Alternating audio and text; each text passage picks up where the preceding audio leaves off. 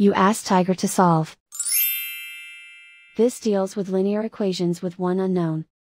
The final result is a equals negative 44. Let's solve it step by step. Swap sides.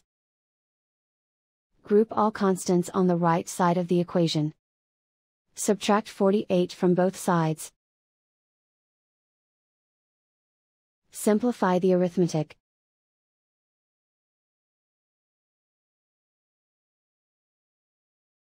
Isolate the a.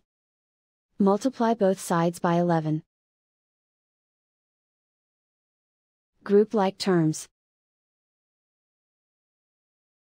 Multiply the coefficients.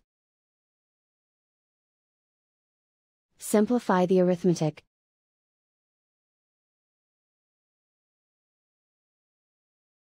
Convert the a into a positive number. Multiply both sides by negative 1.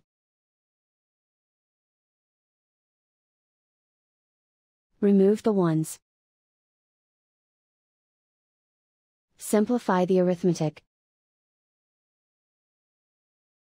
And so the final result is a equals negative 44.